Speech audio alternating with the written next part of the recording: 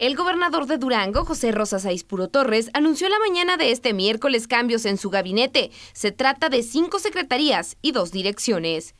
De mantener e incrementar la eficiencia del gobierno, hoy anuncio una serie de cambios dentro de la administración pública, cambios que continuarán en diferentes niveles y dependencias hasta llegar al estado ideal en la estructura del gobierno. Las dependencias que a partir de hoy tendrán nuevos titulares son las siguientes.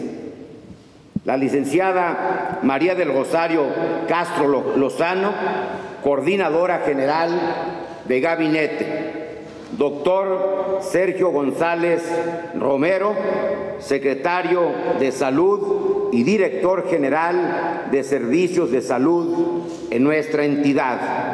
Licenciado Jaime Rivas Loaiza, secretario de Desarrollo Social médico veterinario zootecnista Joel Corral Alcántar, secretario de Agricultura, Ganadería y Desarrollo Rural, licenciado en Administración de Empresas Eleazar Gamboa de la Parra, secretario de Turismo, licenciado Luis Ernesto García Barrón, director del Instituto de Atención y Protección al Migrante y sus familias de nuestra entidad. Bernardo Iván Ceniceros Galván, director general del Instituto Duranguense de Educación para Adultos. El mandatario estatal dijo que dichas modificaciones obedecen a los cambios que atraviesa el país, razón por la que es necesario fortalecer la estrategia de su gobierno, por lo que no quiere secretarios de escritorio, sino cercanos a la gente. Por lo que, por lo que nos debemos y por lo que estamos aquí.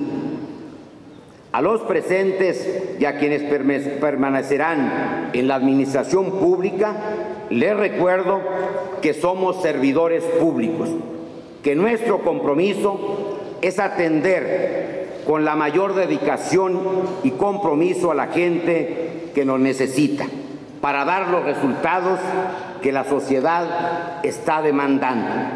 Necesitamos acercarnos más a la gente. Agregó que no habrá perdón al pasado ni al presente y quienes piensen que es un discurso se podrán llevar unas sorpresas. Vamos a seguir trabajando para que los temas que tanto han lastimado a la sociedad, como lo es la corrupción, quien desde el gobierno acepte o promueve, promueva cualquier acto de corrupción, tendrá que ser sancionado conforme a la ley.